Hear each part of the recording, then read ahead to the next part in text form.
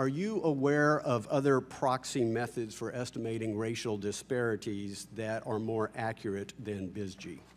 Uh, I don't believe that we are trying to find anything other than the most accurate method we can. So There have been different approaches to this over the Okay, years. So you are unaware of of other more accurate proxies? Accurate's in the eye of the beholder. Uh, we're trying to get it right. We're trying to understand what accurate means.